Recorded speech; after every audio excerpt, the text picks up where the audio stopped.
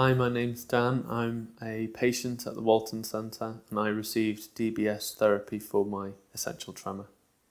I grew up in a small village outside of Liverpool called Rainhill and I basically I, I grew up there uh, for most of my life and then uh, I now live in Liverpool. I'm a junior doctor. I'm currently an A&E trainee but transferring through to anaesthetics. My original diagnosis was in uh, 2015 or so. Um, I was a medical student and I discovered during my, the course of my medical school that I had the tremor um, and was originally referred on from my GP to the Walton Centre directly onto the neurology services. The first thing I noticed about my tremor was I uh, would, my hands would shake doing fine motor skills. It got progressively worse as time went on and I, I felt that it was difficult to ignore by the end of the course of that year. And so I sought some um, medical help from, from a GP who later referred me on for, for DBS. My tremor made me feel quite embarrassed. Um, I felt actually that, particularly when it was, it was noted by other people, people would verbalize about it, I felt it was very difficult to try and cover up. I'd always try and, and mask my tremor wherever possible um, by you know making more gross, big, bigger movements. And um, I suppose that was that was essentially I felt acutely aware of it when other people pointed it out. The medical therapy that I tried didn't work anymore. It was starting to get resistant to the tremor, and i have got to say I'm the worst type of person for taking medications as it as it is anyway. And so um, DBS then became an option. It was something that was discussed through me with the Walton Centre's neurosurgical team, and they um, helped kind of bring me through the process and what it actually involved. I had my DBS four years into my diagnosis, Hi, I'm Mr. Osman Farah. I'm a consultant neurosurgeon uh, with an interest in functional neurosurgery, and I'm the lead for functional neurosurgery in the Walton Center. Essential tremor is a benign condition in which uh, there is a shake of the hand or the head or other part of the body.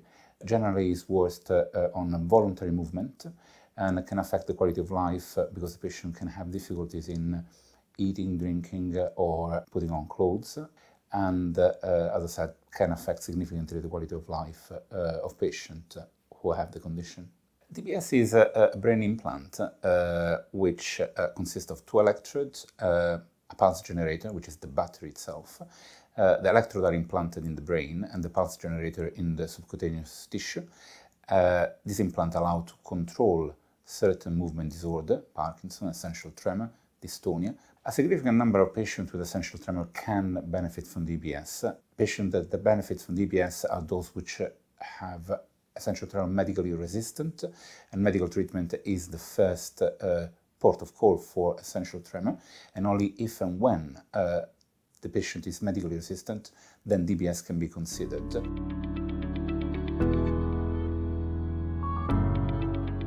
I have a um, Boston Scientific re rechargeable device.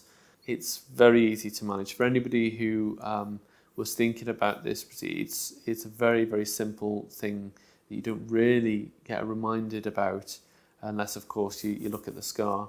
I had my DBS in 2019, I was diagnosed about four years into my diagnosis and essentially have my battery pack, which is just over on my chest um, it became something that I was aware of and then was referred for.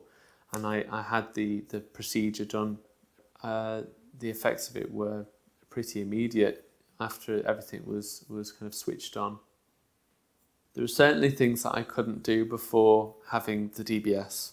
Um, even simple things like, you know, uh, having a full cup of tea, um, you know, simple things like that I would really, really struggle with. And now I don't even think about it. I make sure I get a full cup of tea, which is nice. I um, Other things as well, of course, the, the clinical side of things, my job, which was the, the biggest reason, the biggest motivator for me actually going ahead with the procedure. Things that I can do now, I don't have to think about. I would previously have to, you know, really, really think about whether the procedure I was about to do, I would be able to perform safely. I, you know, it's it's meant that I don't have to even think about those things anymore. It's just assumed I can do I can do it. I didn't expect the level of um, the, the level that it actually gave me in terms of complete resolution of my tremor.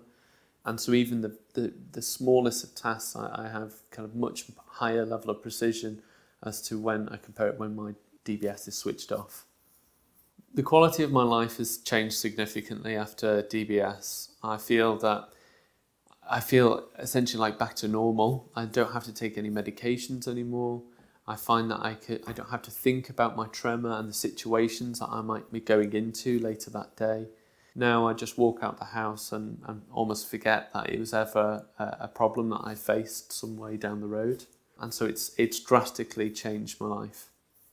Um, in terms of the actual management of the device itself, um, I frequently kind of check the device in terms of how much battery there's left.